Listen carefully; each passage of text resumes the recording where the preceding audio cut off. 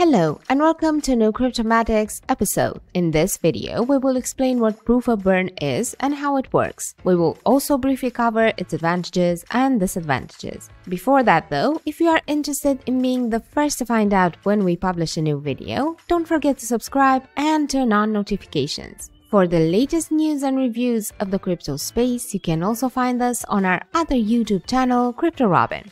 What is proof of burn? Blockchains use consensus mechanisms to ensure that all participating nodes reach an agreement regarding the valid state of the network. So, consensus mechanisms are used to keep a network secure and to verify and validate transactions. You can learn more about this concept in our video on this topic. Most blockchains use a proof of work or proof of stake consensus mechanism, but a possible alternative to them is being tested, namely proof of burn. In the case of platforms that use proof of burn, miners reach a consensus by burning coins, a process through which cryptos are permanently eliminated from circulation. In such cases, the mechanism is used to validate transactions. When compared to proof of work, the proof of burn consensus mechanism has reduced rates of energy consumption. There are different versions of proof of burn, with the most acknowledged version being the one of Iain Stewart, the inventor of the proof of burn algorithm. Depending on the implementation, miners either burn the blockchain's native currency or the currency of an alternate chain such as Bitcoin.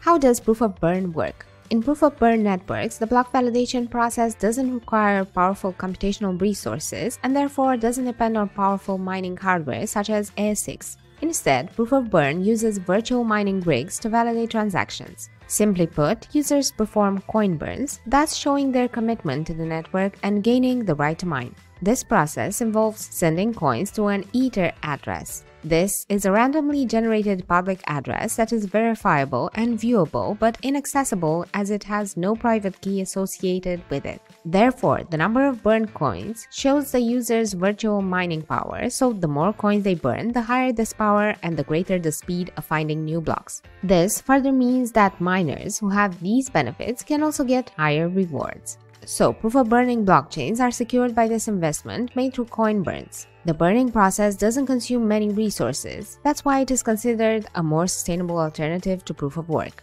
Blockchains that use this consensus mechanism provide block rewards to miners in the currency of the blockchain.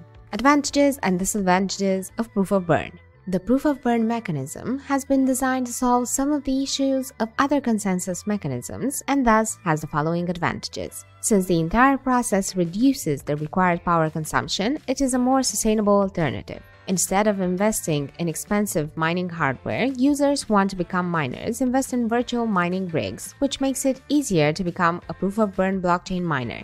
How much a miner invests is entirely their decision, so they are not obliged to spend a certain amount, such as when buying specific mining hardware. Through coin burning, the circulating supply is reduced, which increases the value of the coin that is being burned. Since it is easier to invest in virtual mining rigs than in physical ones, coin mining is less centralized. However, proof of burn is not free of drawbacks. This mechanism is more sustainable than proof of work, but it is not entirely eco-friendly. It is a new type of mechanism and therefore it requires more testing to prove its security and efficiency.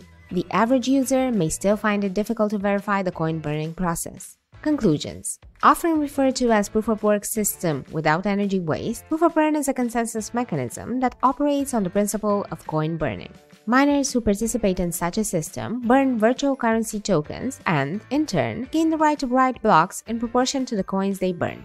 Proof of burn is used not only to address the high energy consumption issue of a proof of work system, but also to deter fraudulent activity on the blockchain that utilizes it, increase network security, and improve a blockchain's functioning as a tool for transactions. I hope you enjoyed today's video, and if you have other questions about proof of burn, don't hesitate to tell us in the comment section.